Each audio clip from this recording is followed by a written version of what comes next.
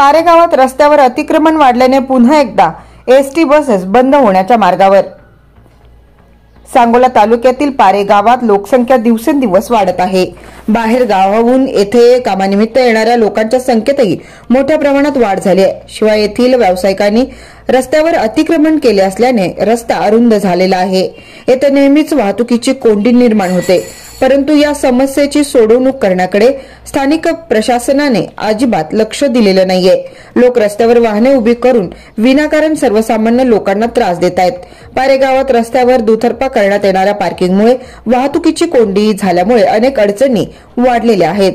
तसेच अल्पबुद्धी मंडळीकडून वाहतुकीचे नियम न पाळणे मन मानेल तेथे वाहने लावणे चुकीच्या बाजूने ओव्हरटेक करणे अशा बेशिस्त वागण्याची रोजचीच सवय झालेली आहे. विशेष करून अशा कोंडीचा सर्वात जास्त फटका एसटी बसेस सेवेला बसलेला आहे. बसेसच्या फेऱ्यांचे वेळापत्रक कोलमडून पडले. या बसेसना अनेक अडचणीतून मार्ग काढावा लागतोय. विशेषतः गेल्या अनेक दिवसांपासून वाहतूक कोंडीमुळे गावात बसेस येण्या बंद झाल्यात. माजी सरपंच संतोष पाटील व पत्रकार चांदभैया शेख यांच्या पुढाकाराने पारे गावात पुन्हा बसेस सुरू करण्यात आल्या होत्या. अल्पबुद्धी लोकांमुळे पुन्हा एकदा बसेस बंद होत आहेत की काय असा प्रश्न निर्माण झाले आहे यामध्ये सर्वात जास्त नुकसान वयस्कर मंडळी विद्यार्थी महिला यांचं होणार आहे. त्यामुळे प्रशासकीय यंत्रणेने त्या अल्पबुद्धी लोकांच्यावर कडक कारवाई करावी अशी मागणी पुढे येते. विशेषतः हल्ली पारेगाव मोठी बाजारपेठ म्हणून नावारूपास येऊ लागली आहे.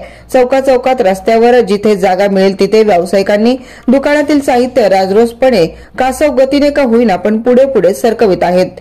याचा परिणाम वस्तूंची खरेदी करण्याकरता येणारा ग्राहक आपली वाहने रस्त्यावर कशाही पद्धतीने उभे करून ठेवतात.